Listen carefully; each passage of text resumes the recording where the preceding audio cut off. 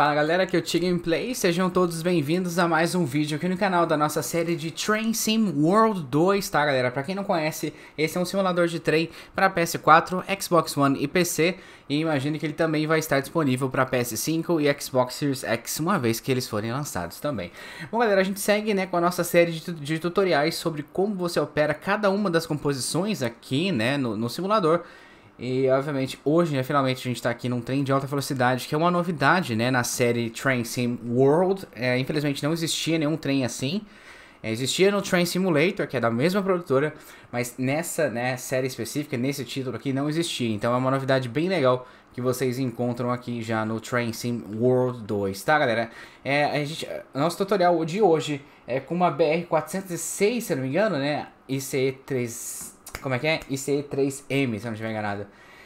Enfim, é, vou mostrar pra vocês. A gente podia seguir passo a passo como o, jogo tá dizendo aqui, só que eu vou pelo outro lado, só pra poder explicar com um pouquinho mais de calma pra vocês, e aí vocês terem uma ideia exatamente do que, que pode ser feito, tá galera? É, esses tutoriais aqui no canal, eles são sempre um pouquinho mais lentos mesmo, justamente para dar oportunidade da galera que muitas vezes acaba não tendo acesso à língua inglesa e, e, essa é uma das minhas poucas críticas em relação a esse simulador. Ele, infelizmente, tá, galera? Infelizmente, não tem tradução para português VR, né? Como já mencionei. É... Ele tem uma tradução para espanhol, mas para você jogar em espanhol, você teria que basicamente mudar, né, o idioma do seu console para espanhol, que acaba sendo um tiro no pé, né, sinceramente. Bom, uma vez que a gente já tá dentro da cabine, tá? Mais uma vez, isso aqui é um trem de alta velocidade, tá, galera? Eu vou até sentar aqui brevemente, só para botar a câmera de lá de fora. Ó, esse é um trem de alta velocidade bem, bem legal mesmo. Eles operam basicamente na Alemanha, né? Até onde eu sei. E basicamente para você ligar, o procedimento é bem simples, né? Mais uma vez, é questão de costume mesmo. Vocês vão vir aqui, ó, tem um painel escondido aqui, ó. Você abre aqui, certo? Aí tem a opção da bateria, cadê aqui, ó? A gente consegue, não, não, acho que não vou conseguir dar o zoom. Se vocês, se tiver muito escuro, tá? Vocês podem sempre clicar com o botão é, direcional para direita, na realidade, né? No controle. E aí você ativa uma lanterna, tá? Isso aqui é bem útil, especialmente se você está fazendo manobras à noite, né? Com as locomotivas e tal. E você precisa enxergar. Então, basicamente, aqui está escrito Battery, né? A bateria. A gente tem que trazer ele na opção On e deixar por 5 segundos. Então, enquanto isso, ele faz isso. Eu queria agradecer, galera, a participação de vocês. Obrigado pelas curtidas. Cada gostei que vocês deixam aqui ajudam pra caramba o canal. E o mesmo vale pra galera que vem compartilhando também. Obrigado pelo suporte de vocês. Esse vídeo aqui está sendo gravado em 4K então, se vocês têm um monitor ou uma TV 4K, vocês já vão poder assistir com uma qualidade melhor, tá? Eu acho que ele só vai deixar eu fazer isso quando o tutorial, se eu cumprir o primeiro passo, né? Olha que safado. Tá, tudo bem. Eu vou ter que fazer isso com o tutorial de qualquer forma, mas eu vou dar uma breve introdução pra vocês. Então, vocês vêm aqui em Battery, tá? E aí vocês trazem pra cá. Deixa na, na, na opção On. Vocês têm que manter segurando, tá? Você tem que manter por 5 segundos. Uma vez que isso estiver funcionando, você vai fechar isso aqui. vou deixar aberto por enquanto. Você vai vir aqui sentar aqui, certo? E aqui você começa as configurações, tá? Isso aqui basicamente é o reverser que determina a direção de viagem, como vocês já estão sabendo basicamente. E esses, vamos trazer esse reverser e deixar ele na opção forward, tá? Maravilha. Aqui você vai basicamente erguer o pantógrafo, né? Você vai botar aí na opção raise, maravilha. E aqui você vai trazer na opção close, tá? E é basicamente isso que você vai precisar. E aí outra coisa que você vai para fazer é basicamente é ideal que você traga headlights, você traga aqui pro normal, tá? Para dizer que essa composição basicamente está em operação. Se você achar que tá muito escuro aqui dentro, você sempre pode ativar as cab lights, tá? Que basicamente as luzes são as luzes da cabine, tá bom? Isso aqui basicamente é o freio, tá? Que você vai controlar. Você pode controlar o freio com o R, desculpa, com L1 e L2, certo? E isso aqui é a aceleração, que você acelera com R2 e, e R1, beleza? não tem muito, muito muitas coisas para fazer. Aqui na sua direita você encontra o Parking Brake. Aqui você aplica o, Parking Brake, que é basicamente o freio de estacionamento. Quando você precisar, você aplica ali. E quando você vai sair, você pode simplesmente clicar nesse botão de baixo, aqui é onde você libera o freio de estacionamento. Aqui você encontra basicamente as configurações dos limpadores de para-brisa, né, os wipers. E se você quiser, você sempre pode abrir a porta uma vez que você está sentado no trem. Você pode sempre abrir as portas com o direcional para a esquerda ou para a direita, tá? Vamos dar uma olhada aqui. Espera aí. Ó, essa porta é fechada. Se a gente clicar aqui para a esquerda, elas devem fechar. Vocês vão ver, ó. Vamos ver? Viu? Você pode fazer isso com o direcional esquerdo e direito do controle, mas se você quiser né, ter uma simulação ainda mais, né, é, como posso dizer, intensa, vocês podem utilizar isso aqui, ó. Esse botão que te ajuda a abrir as portas, tá bom, ó? Então, dependendo da situação, você pode abrir as portas da direita. Vocês podem ver ali, ó. Estão sendo abertas agora. E aí, se você quiser fechar a porta, você só precisa trazer pra cá, ó. Quer ver? Ou você pode abrir as duas portas ao mesmo tempo, né? Open both sides. Ou você só pode abrir, ou né, basicamente você abre a porta né, da, da esquerda e fecha da direita também. Mais uma vez, depende muito do, que, que você quer fazer, tá, galera? Então a gente pode fechar as portas da esquerda. E é basicamente é isso, tá, galera? Bem simples, a gente começa a acelerar, tranquilo. Mas eu vou ter que, obviamente, seguir passo a passo como o... Como o tutorial quer, tá? Então a gente vem pra cá. E depois, eu, se der, eu vou mostrar brevemente as cabines aqui. São várias, geralmente, várias composições, né? É como se fossem classe econômica, é, business e até tem algumas opções de first class. É bem, bem legal mesmo essa história de viajar de trem. Sempre tive vontade e até hoje nunca tive a oportunidade. Então, quem sabe um dia. E assim como falei para vocês.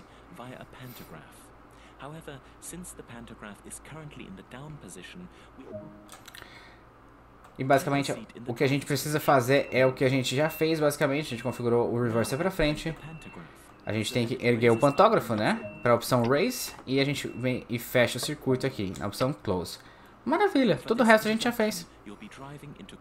E agora a gente pode liberar os freios. E agora a gente começa a acelerar um tiquinho. Obviamente, desculpa, é importante que vocês liberem o freio de estacionamento primeiro, tá? E agora sim.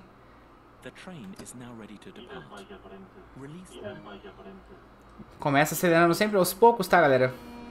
No máximo 3, na aceleração 3, depois 4, 5 e vai aumentando aos poucos, tá? Justamente para não dar nenhum tranco e obviamente, né?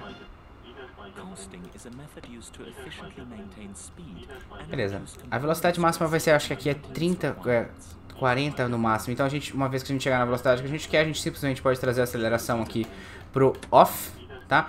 E a gente vai fazer o que eles chamam de coasting, né? Que é uma vez que você atinja a velocidade que você quer, você simplesmente pode parar de acelerar, que dependendo da inclinação do terreno, você vai meio que manter a velocidade sem dificuldade nenhuma, como vocês podem ver. A inclinação do terreno é, é mostrada no canto inferior direito da tela, né, que está escrito 0.0%. Então aquilo ali, basicamente, a gente deve, deve manter a nossa velocidade sem muita dificuldade, tá? Eu tô bem ansioso para fazer uns cenários com isso aqui, cara. Vai ser bem, bem legal mesmo. Bom, galera, espero que vocês estejam gostando, viu? Mais uma vez, obrigado pelo carinho de vocês. Obrigado pra galera que vem compartilhando também cada, né, cada compartilhamento, cada curtida que vocês deixam aqui ajudam pra caramba o canal. Nossa, eu não aguento esse cara falando, cara. Tem, deve, provavelmente tem algum botão aqui.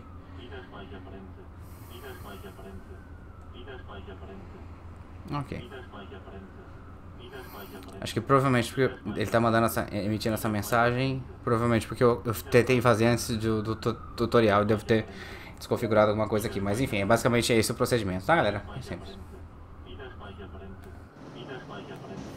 Ok. 300 metros, a gente pode começar a aplicar o freio mais em cima da hora. A gente pode botar aqui a... O, a gente pode botar o freio no 1B. E agora basicamente a gente vai é, partir da estação, né, do, de onde a gente vem. Então a gente vai ter que desconfigurar tudo isso aqui, provavelmente, e ir pro, ir pro, pra cabine lá da outra ponta, né. Esse barulho no fundo é o meu PS4 decolando, tá, galera? Mais uma vez, eu acho que esse jogo ele não foi muito bem otimizado para PS4, não. não sei, vamos ver. Vamos lá? Agora a gente aplica mais um tiquinho do freio.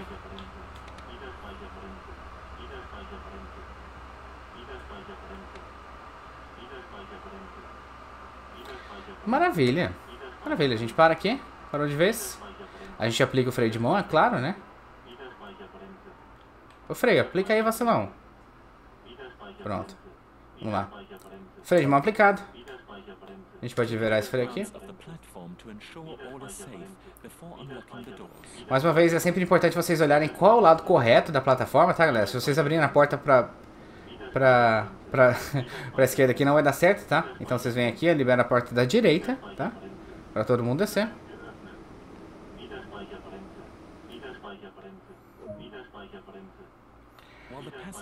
Ok, a gente tem que trazer o reverser pro off. Isso aqui a gente traz pra uh, deemed. Ok. Bom, eu já tinha aplicado o freio de estacionamento, né? Mas tudo bem, jogo. Vamos lá. Pronto. Agora a gente basicamente já fez o que a gente precisava, né? O freio tem que estar na opção Release. Quando você vai trocar de cabine, é claro, né? Você traz o, o reverse pro off. E é a única coisa que você precisa fazer. Se você quiser, você pode desativar as cam lights, né? Já que você não vai ficar aqui mais. E a gente vai ralar peito agora. A gente pode... Eu vou mostrar... Eu vou passar por dentro da composição, tá, galera? Geralmente esses... Opa, deixa eu fechar esse aqui também, feio. É... Geralmente são, basicamente, alguns... Não sei exatamente esse, tá? Mas especialmente na Europa tem alguns trens que tem basicamente primeira classe, é... business. Isso aqui tem cara de ser business, cara. Porque nessa configuração 1, 1 2, né? Acho que tem até uns vagões, se não me engano tem até uma, um vagão aqui específico que é, que é onde tem a cozinha, cara, bem legal. Tem esses lugares que você também pode, né, é, aqui é uma quiet zone, é como se fosse um lugar se você quiser se reunir com alguém, né, você poderia utilizar isso aqui.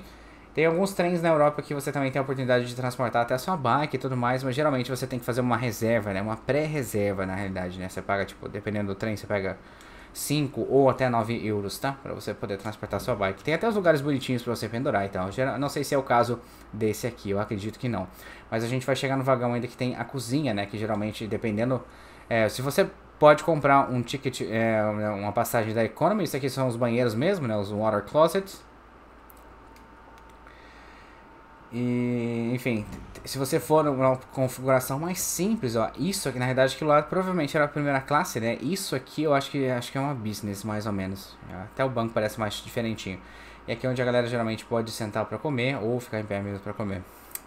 Isso pra esquerda aqui, se eu não me engano, é um restaurante. É, geralmente, é, tá fechadinho aqui mesmo, ó. Mas aqui é geralmente onde a galera vem, como se fosse uma cantina, né, de certa forma. Se você tem, é, compra uma passagem da primeira classe, provavelmente você já tem alguma refeição inclusa, né? Mas se você, mesmo se você tiver uma passagem mais, né, mais acessível, né, economy, você ainda pode ali comprar por conta própria, né? Geralmente é um pouquinho caro mesmo, mas Eu sei um pouquinho disso, assim, apesar de nunca ter viajado, mas eu adoro ver vídeos de, de, de viagem de trem, cara, de avião também. Eu sou uma pessoa um tanto quanto estranha, mas enfim. Isso explica porque que eu gosto tanto de simulação. E isso aqui, com toda certeza, é economy né? nessa configuração. Ó, isso aqui é onde geralmente as galera, o pessoal pode botar as bolsas, né? E isso aqui basicamente, aqui ó. É, tem a configuração 2.2, né? Que é a configuração mais simples. Que é uma configuração que eu viajaria, né? No caso, mais, mais ralezão mesmo.